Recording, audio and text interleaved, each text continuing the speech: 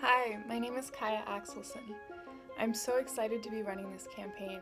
I hope you vote for me for Vice President of Charities and Communities because I just want to keep doing the work that I've been doing for two years to make Oxford a better partner to the local and global community. To me, that means stepping up our ambition in what we can do to combat climate change, creating a carbon neutral framework across the institution, but also advocating it among other institutions, including our investments. That means being a truly empathetic neighbour to the homeless members of our community because they have every right to be comfortable in just the way that we are. It also means shifting our systems and habits to change our consumption patterns.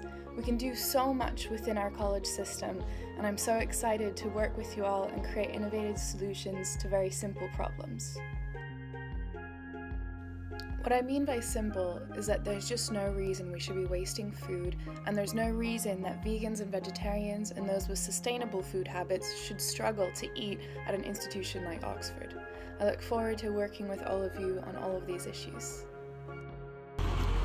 I'm voting for Kaya because she's unapologetic about doing what's right to help us all.